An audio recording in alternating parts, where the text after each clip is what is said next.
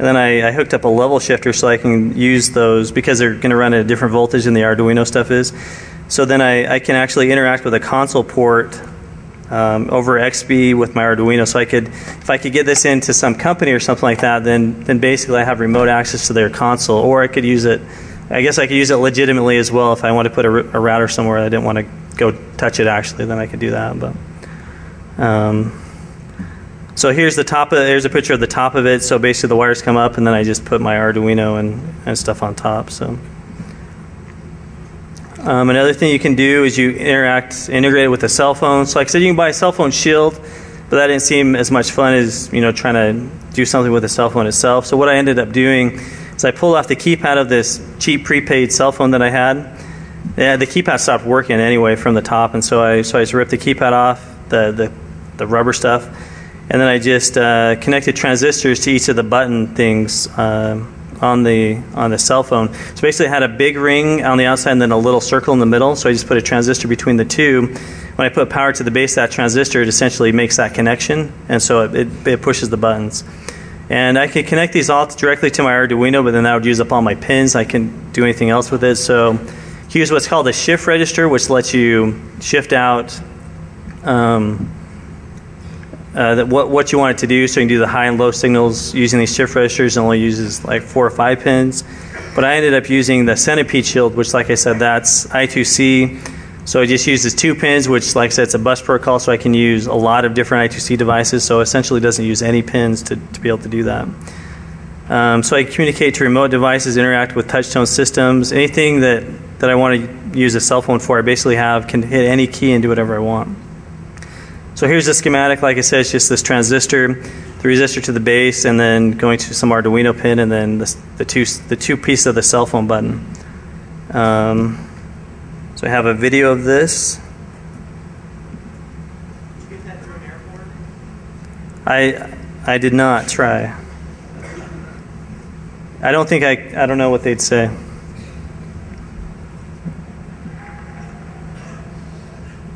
I can't see what's up.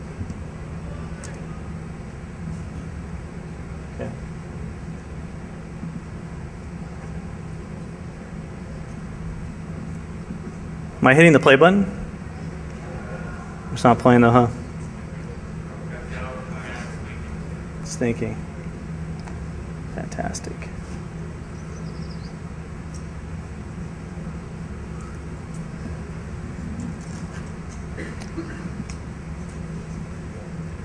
I wonder if it wants me to.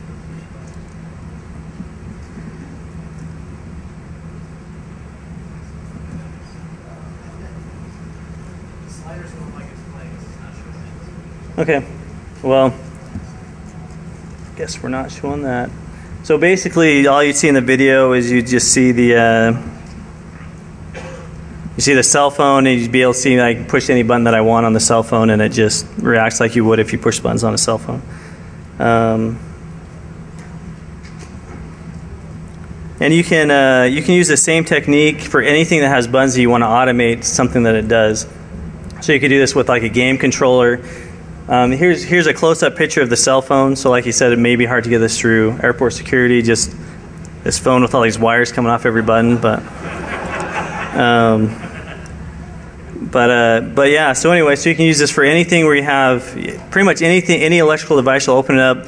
You'll either have these jaggy things, and so when you push the button, it just grounds the, t- it just connects the two, bridges the two, or it has something like this where it has this outer circle, and inner circle you just you solder to them, you put a transistor on them or something like that, and you can you can run the device.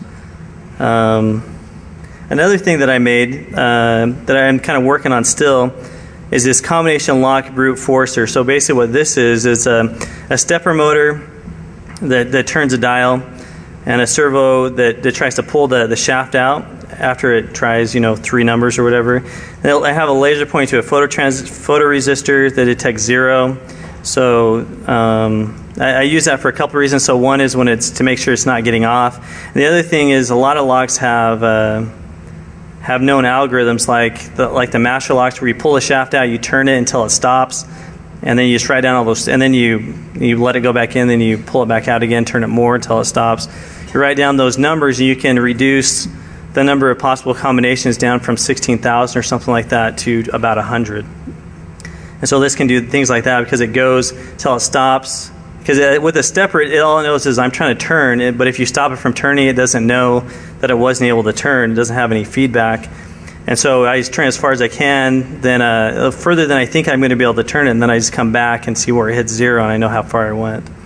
Um, and it can use known algorithms. Uh, oh, like I said, I already said that. So, and it can also try every possible combination. So here's a picture of it. Um, I actually realized that I forgot this when I got here, so I started rebuilding it, but I didn't get it done. So, sorry. But, um, so here's a here's a picture of it though. So basically, the servo on top, and the, the the metal plate is just a cover plate, electrical cover plate I picked up at Lowe's, and it just has those bolts, so I can adjust the height of it, make sure it's the right height for my lock, and then. Uh, and then this plastic stuff is called shape lock um, that I use. So, so you can see there's a servo at the, at the bottom that tries to pull the shaft out. There's the button that detects if it is pulled out. Um, so it's really it's pretty easy to make. Really, that you can just pull a stepper out of an old printer if you have, or just buy them online. They're about 15 bucks. You need probably need like a stepper driver to be able to drive it easily, um, like an easy driver or something like that. Um, so one thing I want to say though about that plastic stuff is it's called Shape Lock and it's rad. It's it's really cool. So basically, see these little plastic beads. You you get water, you heat it up in the microwave or something like that, and uh, and then you you can make it into any shape you want until it cools down. And it's really it's really pliable and things like that. As soon as it cools down, it gets really hard. You can drill it, you can cut it, you can do whatever you want. It's really cool stuff if you have to make you know custom pieces. And for this I need to have a, a piece that fit over the lock and fit inside the stepper or over the over the stepper shaft and over the lock dial. And so I didn't know where to get anything like that so I just made it with this stuff and it, it worked really well. Yeah you can. So you just you put it back in the microwave in the, the water or whatever and it just remelts. You can reuse it. It's cool. And so that's one thing though as well. So you don't want to use it for something where it's going to get hot. So like anything outside here in Vegas you probably wouldn't want to use it but uh, so I think it melts at 150 degrees Fahrenheit, and then and then I and then yeah. So as long as you keep it below that for whatever you're doing, they should be good. Uh, so another thing that I made using the shape lock stuff was a key impressioner. Um, so uh, so basically, this works on only on wafer locks. This won't work on a on a pin tumbler lock. Uh, just wafer tumbler. So uh, so basically, what it is is this piece of this is actually shape lock as well. So I took this piece of shape lock, flattened it way out, made it about the same shape as the key, and then I have uh, so there's several exposed wires at the very end of it, the very tip of it, and then there's wires connected to the body. There's a wire connected to the body of the lock. So I'll kind of show how this works a little bit. So so here's um, a pin tumbler lock that you guys are probably familiar with. So has all these pins. They're cut at different lengths. Uh, but but when it's when there's no key in it, they're all all the way down because because you have those springs on top. You put a key in, if the key is the right shape, then it's going to raise them all up at the right level. The the cuts and the pins are going to be in the right place, and you're going to be able to turn it. Um, a wafer lock works a little bit differently. So a wafer lock has all these wafers, and they're um, if you look at the one on the, the left, then they're all without the key in it. Then they're, they're all the they're all different they're all different levels right? So this is actually the level that you need to be able to open it with a key because you want them to basically all go straight up at the same level they are so then it's not locking it. And so then that's what the key does. And so what that means is if i can get a device in there and i figure out what level they're at when it's when they're down then i know what the key looks like. And so so basically that's the way this key impressioner works so i like i said, i stick this piece of plastic in at, at the the red is the wires at the very end towards the tip, the, that angle tip, they're all exposed.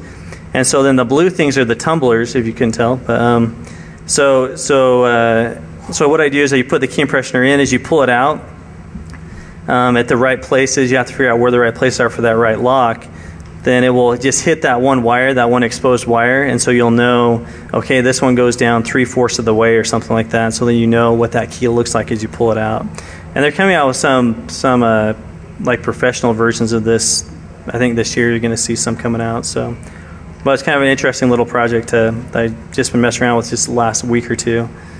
And, uh, and so, like I said, then all you do is is you connect a you connect uh, like uh, power to the to the outside of the lock, so just the body of the lock, and then you have you connect all these wires coming off the back of this to your Arduino, and then you just see which one's giving a high signal coming in in a digital read because that's the one that's going to actually be hitting because you have the body giving power, and then yeah, and so you're gonna you're, it's gonna go through the through the body of the lock, through the outside, in, through the tumblers, and into the device.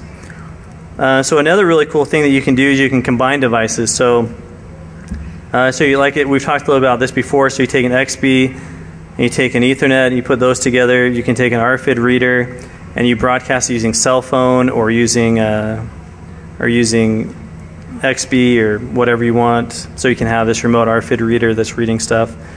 Um, you can use Bluetooth for motor control. Um, using your Arduino or something like that, so you have some robot you can you can control it using Bluetooth. So it's just really cool the things you can make when you start combining things. So eh, some other interesting Arduino libraries that other people have come up with. There's like there's actually a crypt, cryptography library, so you can do cryptography here. It's really slow. There's another project where people are unlocking doors by knocking a certain signal on the door, then the door unlocks. Um, there's another. There's a there's a, a, university that's doing a project where you come up somebody, you do a special handshake, and you're wearing a special glove connected to an Arduino, and it will make sure you do the right handshake to make sure that you're who you say you are. Um, you can also do make an Arduino-based oscilloscope. It's kind of like a poor man's oscilloscope using the analog read pins. It's not super fast or super are the best thing ever, but it but it works, and uh, and gets you buying a lot of projects. Um, also, so like I said, Arduinos are really cool, and I love Arduinos. But there's there's also some other alternatives that, depending on what project you're doing, you may want to look at. Um, the Parallax Propeller, it has they're selling the kits here in the Hardware Hacking Village. It has eight cogs, so it can do eight things at the same time, which is pretty cool. Um, it can do video and audio and things like that, so you can output to a TV. Um, AVR, just uh, just basically this is the chip that's on the Arduino. You just take the bare chip and use it. And like these are you know two or you know probably between two and four bucks a piece, and so they're a lot cheaper than than using an Arduino. You can also use a PIC, um, so they're they're pretty cheap to buy. The, the, only, the thing with PICs are for the most a lot of times you're gonna have to buy like a proprietary development environment or something like that, so you can code in C. The assembly ones are free. And you can also do some like limited size of C for free with a lot of them as well, with a lot of the IDEs for so. There's also the the Freescale one that we have on our badges. It's I, I really like this one as well. They're really cool. Um, using Processor Expert, you can do a lot of cool stuff with them. Um, so here's some resources that you might want to check out if you're looking for um, some additional stuff. So the official Arduino website is arduino.cc. It has really good forums. Um, the Instructables.com has a lot of cool, a lot of cool uh, Arduino projects. I, I have a couple up there. Uh, SparkFun is a cool place to buy things. Adafruit, Lady Ada, she sells a lot of cool Arduino kits.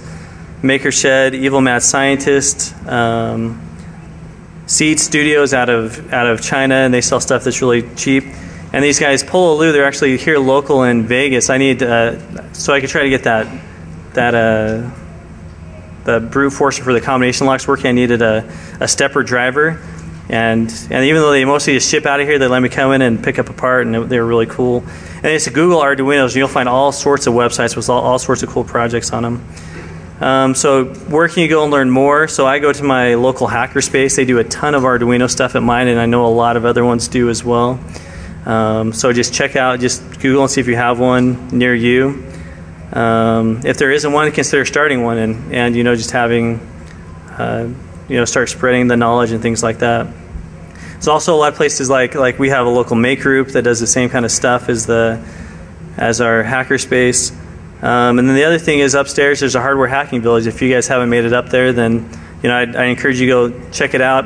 One one thing, just a piece of advice: don't go check it out in between talks because there's a lot of people just kind of wandering around, super packed go check it out during a talk. That you know, if there's an hour you don't want to see a talk, um, then just go and check it out. And and there's a lot of people doing cool stuff. People are really happy to help you out and let you borrow tools and and just talk to you about stuff. I was talking to a guy yesterday about, uh, or a couple days ago about stuff he was doing with Arduino's, and he was he's been making uh, things for like radio stations and and on all sorts of really cool stuff. Um, so then this is I'm going to put all my code and, and uh, slides and things like that up on um, on this GitHub site. So github.com sketch, where the E is a